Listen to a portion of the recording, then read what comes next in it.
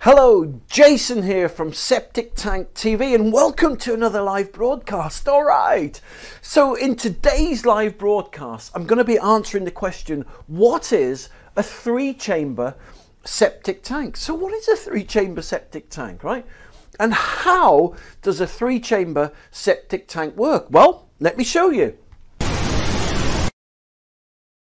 All right, so this green line here is the grass and you've got three lids.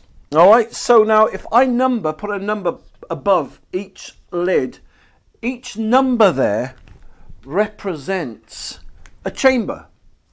All right, so maybe you've owned a septic tank with one chamber, maybe you've owned a septic tank with two chambers, and maybe if you're lucky enough, right, you own or have owned a three chamber septic tank. Now, what's unusual about a two or three chamber septic tank is this most septic tanks, especially today, have only got one chamber. All right, but go back 50, 60 years ago, and most septic tanks had two or three chambers.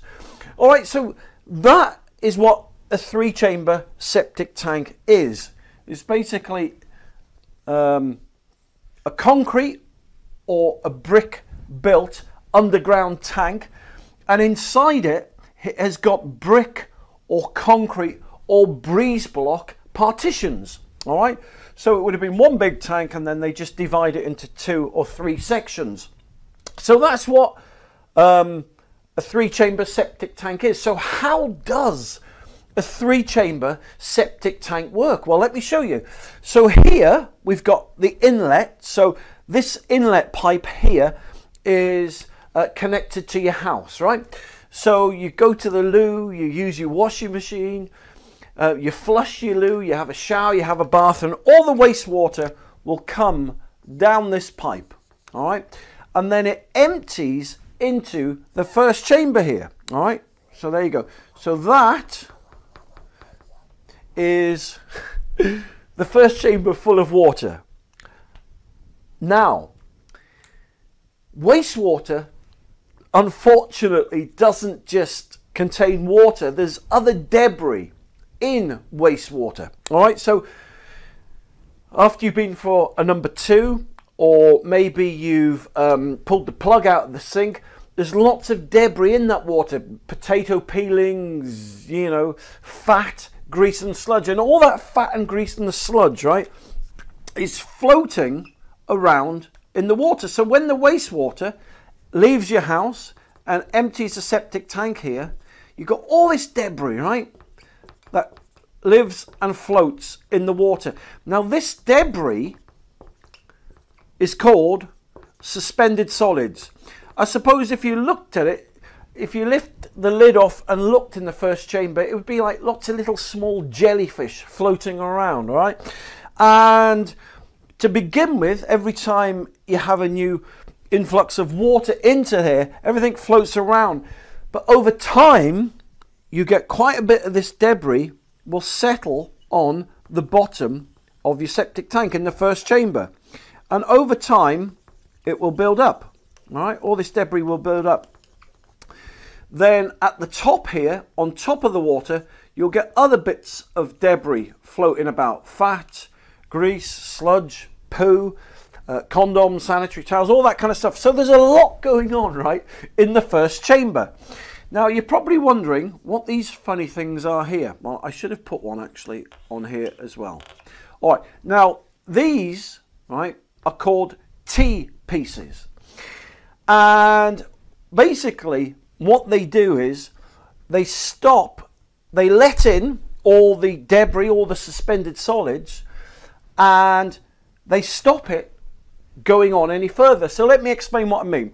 So the wastewater will fill up in the first chamber with all the debris and stuff, and then when it reaches this level here, this water, so when you get a relative displacement come in now, this will always stay at this level, right?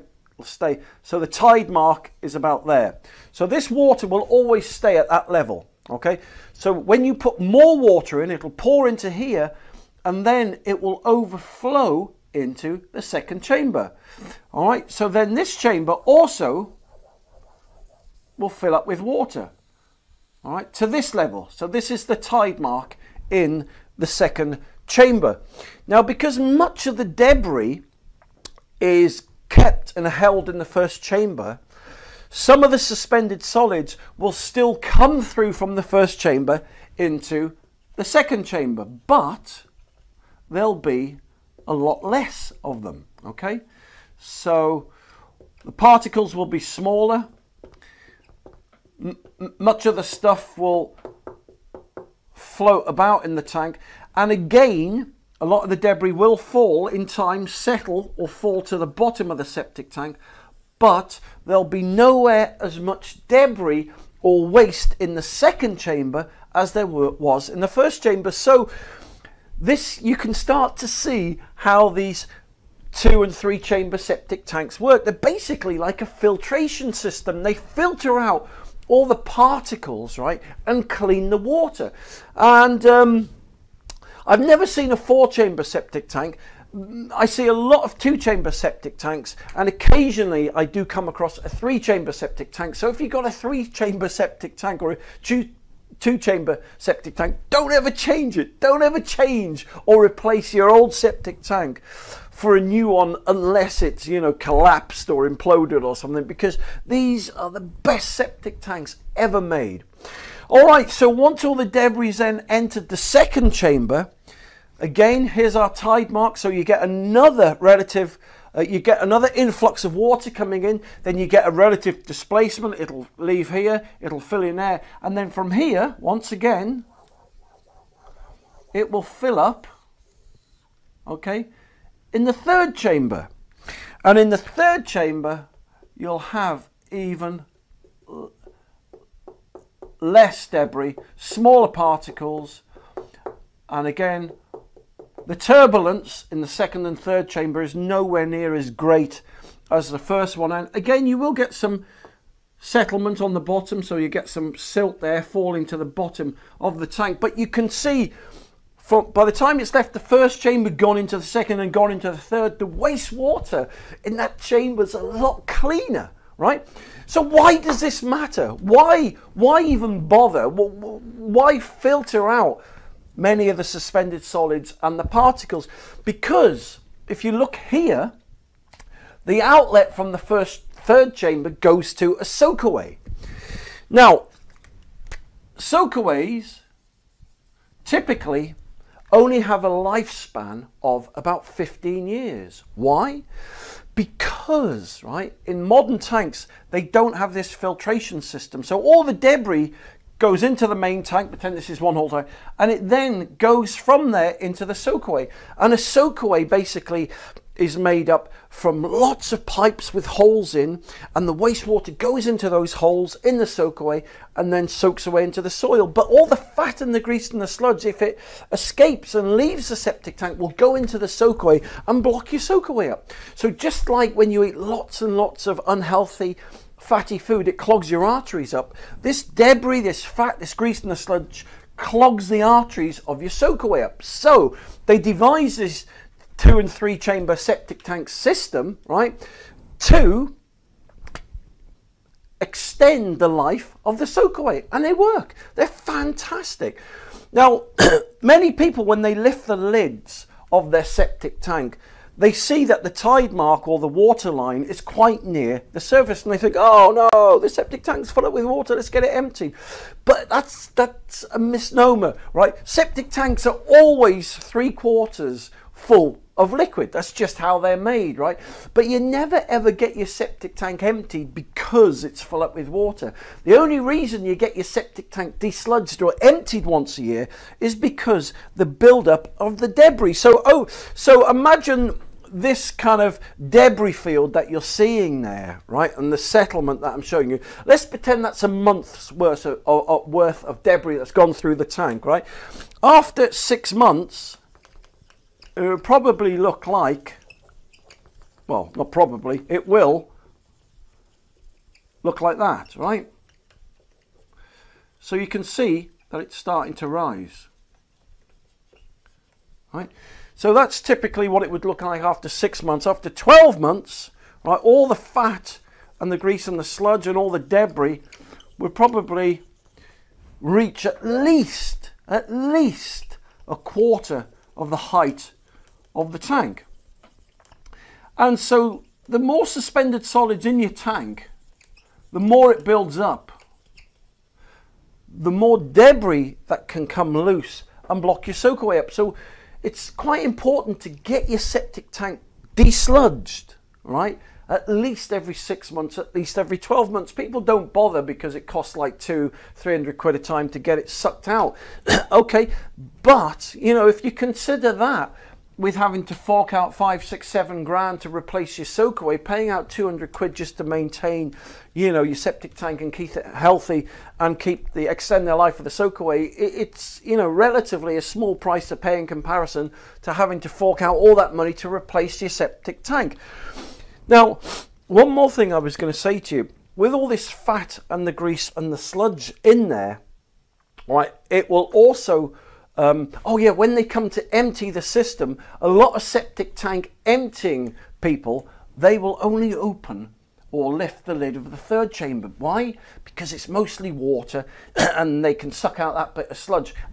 If you're lucky, they will also open or lift the, the, the, the lid of the second chamber and sec- take suck that sludge out. But I had a guy ringing me, um, ring me last week, and, and this is typical of everyone with a septic tank, right, with three chambers. 99% of septic tank emptying people will not empty the first tank because if you haven't had your tank emptied for like flaming hell, five years, ten years, or whatever, and and it's full up or at least half full with sludge, sludge, right, to septic tank emptying companies is a nightmare for them to suck out. It takes them five, six, seven times longer to suck your septic tank out than it would if it was just water because it's almost like a thick, thick milkshake. So they put their hose in, you put the hose in, they lift the lid, put the hose in here, right? So let's say there's the hose coming from the uh, coming from the tank. It comes in and it goes into the sludge here, right?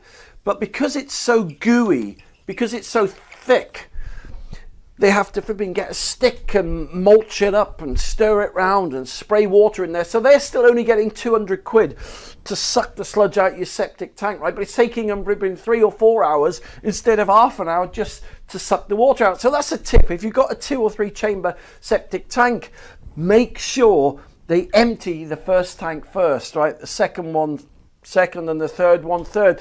Most of them will probably complain and won't want to do it, or they'll charge you if they've been three, four, five hundred quid to do it.